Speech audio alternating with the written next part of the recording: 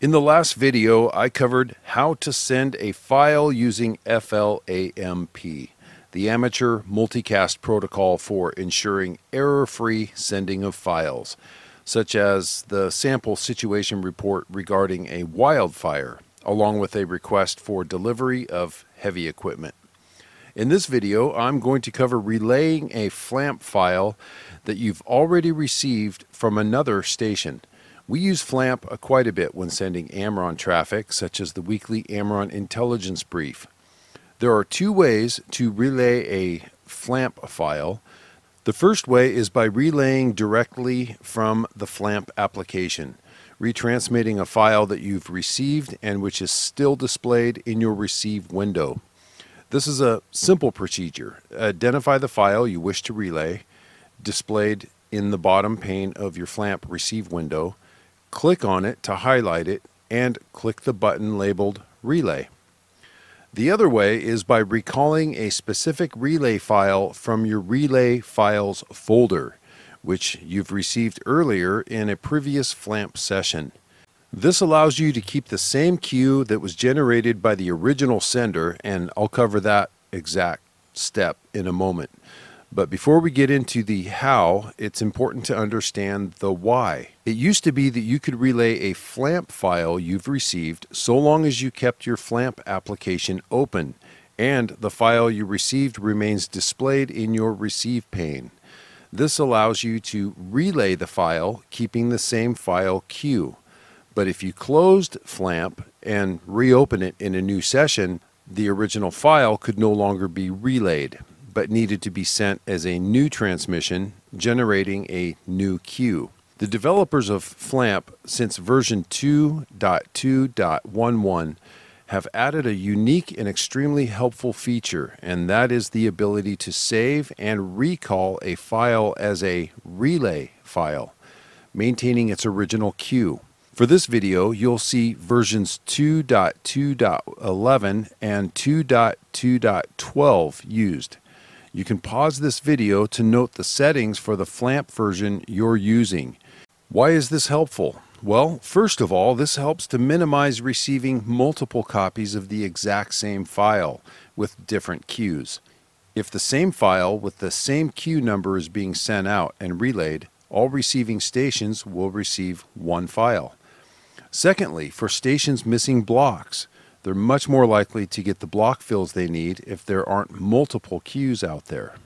For example, let's say a Missouri station operator just came in from a two hour neighborhood patrol.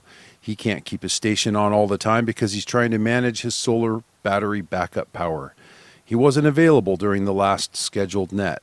So he powers up his station and asks if anyone has the most recent situation report, SITREP or the latest AmRRON intelligence brief.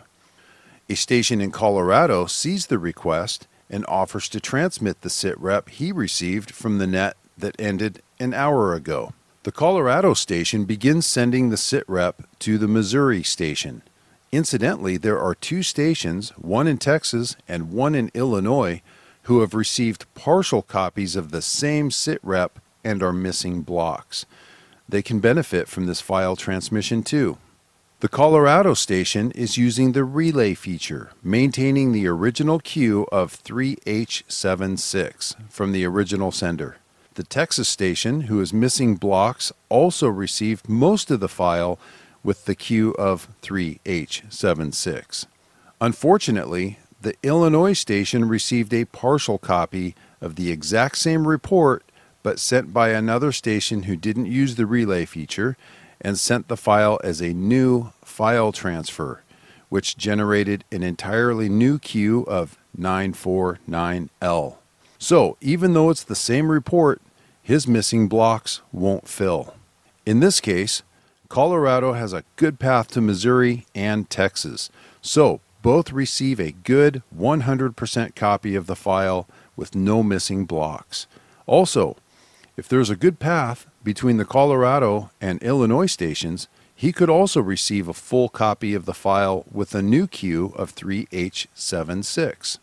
If he doesn't have a good path or for some reason ends up missing blocks, He'll then have two partial copies of the same file with missing blocks in two queues.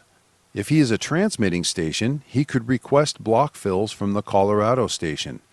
And even the Missouri or Texas stations could send block fills to the Illinois station. This happens all the time on the AmRRON Persistent Presence Net.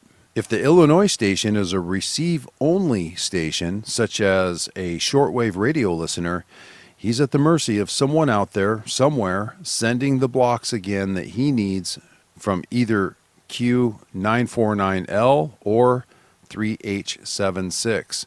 His best option would be to leave his radio on frequency and leave his FLDIGI and FLAMP programs open so he can catch transmissions sent by other stations later. Now, from the Colorado station's perspective, let's show how you would relay a file. You notice a station from Missouri asking for the latest traffic.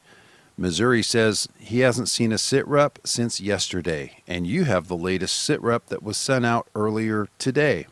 Tell him you have today's sitrep and you can relay it to him. This back and forth dialogue will help you both confirm you have a good path. In FLAMP, click on the File menu button. From the drop down menu, select Load Relay Files.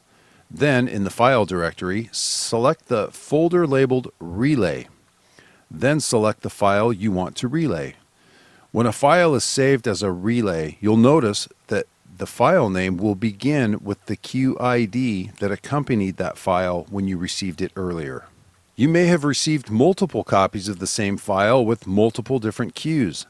This is handy when a station is asking for block fills for a specific QID you can load that specific queue. Since you're relaying a file that you've received, when you load it, it will appear in your FLAMP receive window, not your transmit window. Files loaded into your transmit window will be sent as a brand new file and an entirely new queue will be assigned to it. Once the file is loaded, then you simply click on the relay button. When prompted to transmit, if the frequency is clear, click yes and that's it.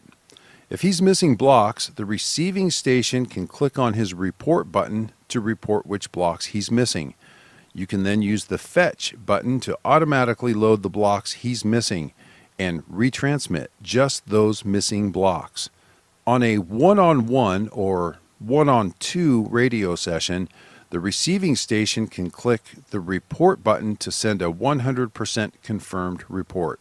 But during a scheduled net, when the sending station is sending to the entire net, this is called wide distribution traffic, receiving stations missing blocks should be the only ones reporting. Stations with 100% copy should keep the frequency clear and avoid transmitting so stations missing blocks can report and transmit without interference. If you found this video helpful, then give it a like and share with others and subscribe. There's a lot more content on the way. Now, get your comms up.